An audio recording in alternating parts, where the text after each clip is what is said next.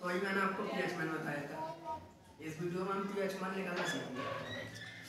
ये आपके सामने क्वेश्चन लिखा हुआ है, किसी विलियन की हाइड्रोक्साइड आयन सांद्रता दस का घात माइनस पाँच है तो विलियन की प्रकृति तथा पी एच मान ज्ञात कीजिए।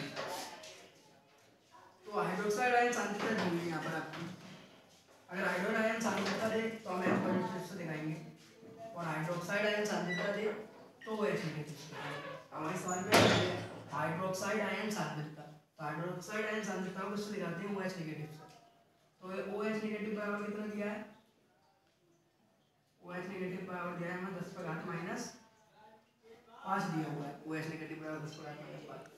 तो विलियन की प्रकृति तथा पी एच मान ज्ञात कीजिए।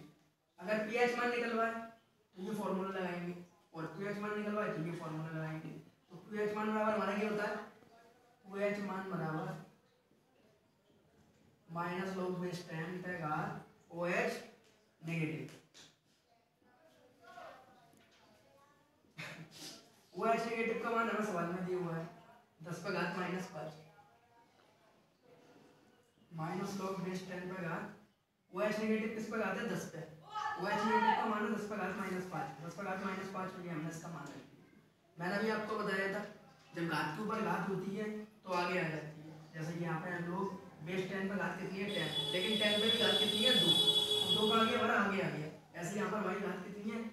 लोग बेस टेन पे घात तो दस है ही, लेकिन दस पे भी घात कितनी है? माइनस के पास। तो माइनस पाँच का आएँगे आपके आगे माइनस गुणा माइनस पाँच। लोग बेस टेन पर घात टेन। लोग बेस टेन का, टेन पर घात टेन का मान आपको ही बता दिया था। लोग बेस टेन पर घात टेन का मान आपका एक होता है। तो लोग बेस टेन पर घात टेन का मान हम कितना लिख सकते हैं? तो माइनस गुणा माइनस पाँच गुणा एक जब माइनस माइनस का गुणा होता है तो आपको होता है प्लस। Minus minus plus. तो आपका पी एच मान कितना आ गया? तो आपका पी एच मान पाँच आ गया। अब हमें, ये तो हमने पी एच मान निकाल दिया हमें प्रकृति बतानी है। तो मैंने अभी आपको बताया था, अगर हमारा पी एच मान एक से छः के बीच में रहा है तो हमारा बिलियन अम्बी होगा। और अगर सात आ रहा है तो हमारा बिलियन उदासी और अगर आठ से चौदह तक आ रहा है तो हमारा बिलियन चालीस होगा। लेकिन हमने पी एच मान निकाला है। हमारा कभी बिलियन की प्रकृति क्यू एच मान नहीं बताता।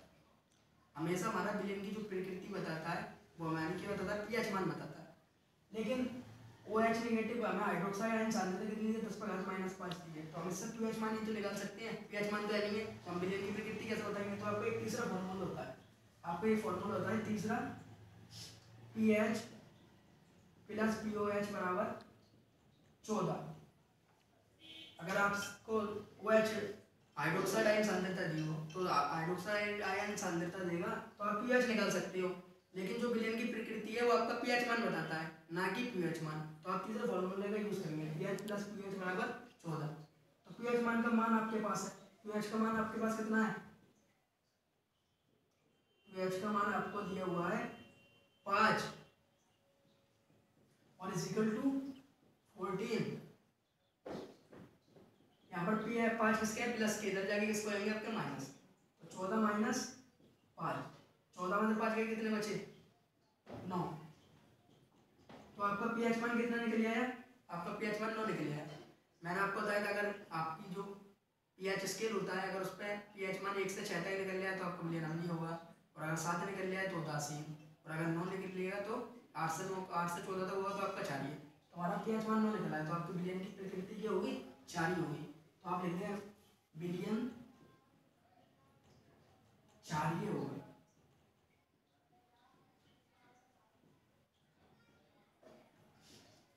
आपसे इसी को ऑब्जेक्टिव टाइप क्वेश्चन पूछ लेता है। जैसा आप, आपसे कह दिए किसी बिलियन का पीएच मान सात है। तो बिलियन की प्रकृति बताइए।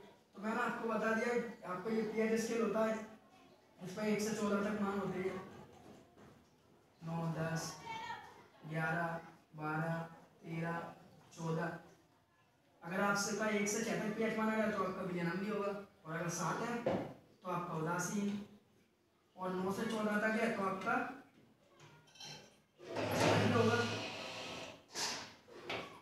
तो अभी आपका एक से छः तक आएगा तो नहीं होगा आपका। लेकिन अभी हमारा मान कितना दिया? सात। तो हमारा बिलियन भी होगा, उदासीन।